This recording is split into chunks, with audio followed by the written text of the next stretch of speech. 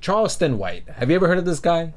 Well, if you haven't, just know that he's probably going to be making appearances almost everywhere from this point forward because Adin Ross has been giving him a platform and he's uh, becoming a little bit more widespread.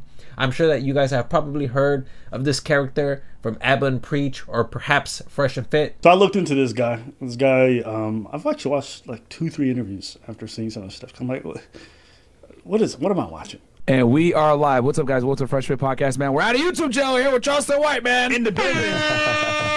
and so, based off of my understanding, Charleston White is either a YouTuber, social media personality, and I even read that he's a comedian. And I saw a bit of his comedy, and uh, I gotta say, well, you know, every, comedy is truly subjective. I also heard that he was a youth mentor, and of course, the name of the nonprofit is called Hype which is an acronym for helping young people excel. And I wish I was bullshitting you with this next one, okay? He he also started a community with the N-word. I wish I could say the N-word, but I can't because I don't have the N-word pass. And it even stands for something. Never ignorant, getting goals accomplished. I guess that's one way to empower a word that was quite oppressive towards a group of people 100 years ago. Yeah, so that's kind of how I heard about Charleston White. Uh, but nonetheless, the reason why I want to talk about him is because I find him very interesting, very peculiar. You see, as of late, he's been coming out on Adin streams, and that's kind of how I decided to give him a chance. There was a lot of things that he did where I was just like, do you even mean any of the things that you say then? For instance. So you snitch on your own friends? I have, yeah. For what? What do you gain out of that?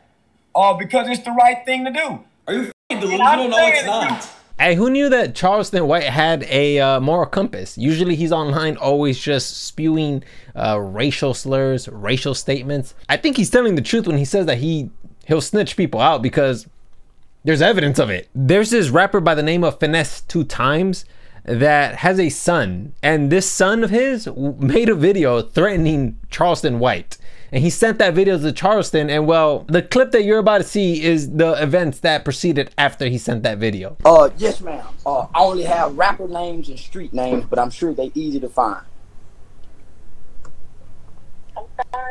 Uh, yes, yes, ma'am. I want to make a report of child neglect and child endangerment. I got a video that was sent to me, uh, that was made by this child online, uh, making threats.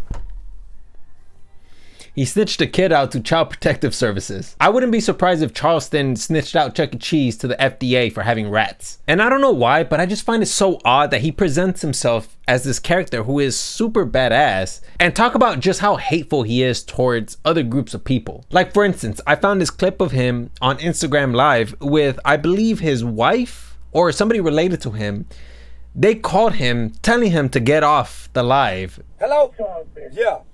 I need you to come off their live right quick. Man, I ain't coming off their live. They done called the police on me, and these people need to know they called the police on me. So, f a Chinese baby. I hope Afrika Bambaataa every goddamn Chinese baby in New York. Bye. I hope Afrika Bambaataa every goddamn Chinese. Yeah, enough of that, all right? And this is where I started to scratch my head and think to myself, you know what, man? Like, what if it is true that he's not what he says he is? Instead, what if he is some other type of person? So I started doing a little bit of digging and there was a lot of things that were quite interesting that I found. I ended up finding an interview of him talking about why he goes on rants about groups of people. Does that mean that you don't actually mean what you say? Oh uh, no, I don't. I don't mean half the stuff I even talk about.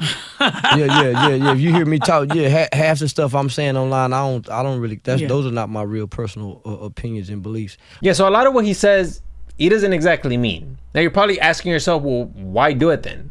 Why even go down that route to make yourself look like a terrible person? He also explains it in that interview, which I thought was very interesting. And it gives you a perspective as to why so many people like Andrew Tate, just pearly things, uh, sometimes even fresh and fit, Sneako, it gives you perspective as to why they go viral. Mm. Now, listen, Charles, and you're you're very controversial, and you'll say things about people, and you know, intentionally. Go, yeah, intentionally. Yes, ma'am. Why do you do it intentionally?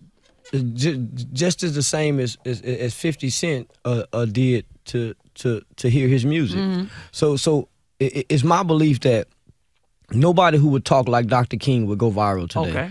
If if if if Dr. King was alive, his videos wouldn't go viral today. So you you have to be uh, you have to have some type of theatrics in, in order to to get a message across nowadays. That's why the preacher turn up with the wow and make the, the the musicians jump on the beat when he get going. So everybody has to add something, some type of spice, uh, if you want to be a public figure. So. Uh, I just choose to play the villain uh, rather than pretend to be a, a wolf in sheep clothing. Uh, I'm a sheep in wolf clothing. which is pretty interesting. However, the thing is, how can anybody take your word if whatever you say, there's like a 50 50 chance that it's real? He's also gone on to talk about how he kills white men, white women.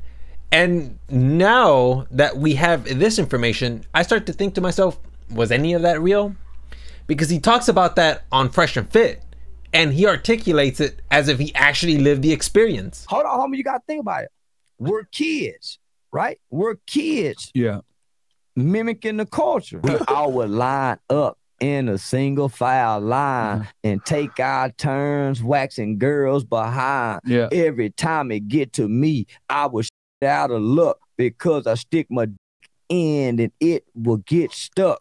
the girl will say, Stop. I say, I'm not. The girl will say, Stop. I say, I'm not. That's enough. Come on, homie. Yeah, no, Damn, I- that's I- a song. So- yeah, that's so- a song. Yeah, so- that- so they- they here went we are. Crazy. So here we are, kids. Hearing this is no different than when the kids hear Molly's, Percocets, Yeah, Xanax, yeah, yeah. Xanax. So, so, so we trying to mimic the culture. Now we Yeah. trying to have trains. Now, if we were to believe Charleston White that he didn't actually do, commit any of these crimes, but instead wanted to provoke some sort of thought, then what he's trying to say here is that there's some sort of indoctrination going on. And this is the lyric that Charleston White was rapping about on Fresh and Fit. If you go ahead and you tap it, which is the one that's highlighted on red, you will see that there's a couple of comments that respond to that specific lyric. And one of them reads, This lyric describes rape, assault. If somebody tells you to stop having sex with them and you don't, that's rape. Which is what Charleston was talking about on Fresh and Fit. So Charleston's point on Fresh and Fit is that black people mimic whatever the media indoctrinates them with. This is what was going on during the 80s, and if you take a look at what's going on in the 2000s, specifically 2020 and forward, you will see that a lot of rap songs are about killing, drugs. Like this plagues black communities specifically. And there's a trend. It's it's an obvious trend in the black community, at least according to the black people that live in those communities. They talk about the struggles. They talk about this in their music. And then Charleston's point on Dede's podcast or radio station, his point is that he needs to be as provocative as possible for people to pay attention to him. Now, I don't know if you consider that genius or not, but that is pretty bold for somebody to go out there and say a bunch of these crazy racial statements. But if that's what you have to do in order to get your message across, it seems to me like Charleston White understands the consequences. Best of luck to you if that's what you want to do. But nonetheless, man, I kind of want to share that with you guys because I thought it was very interesting when I was looking more into this guy because I couldn't believe that a lot of what he was saying wasn't real. Um, but at the same time, I did kind of get the hint that man, this is just way too much. I gotta look into this guy. So, yeah, I, I that's what I ended up finding, guys. Um, yeah, you guys let me know what you guys think about Charleston White. Before we end the video, I want to go ahead and show you guys some lighthearted stuff that I thought was pretty interesting that I saw Charleston White and Adin participate in. I thought this was absolutely hilarious. Have you ever had a threesome before? Never. Oh, do you like threesomes? No. I only got one dick. I'm gonna do it with two pussies with one dick, and I don't eat. I So, white hold on, Mr. Hold white on, hold boy on, lick each other Charleston, ass. Charleston, Smell each other Charleston, Charleston. I have hair. Now that's fur. Uh, yeah, that, that's the kind of stuff that I'm talking about. Yeah, you guys let me know what you guys think about Charleston White. Yeah, and that's uh, pretty much all I have for you guys. And yeah, hopefully you guys learned something today.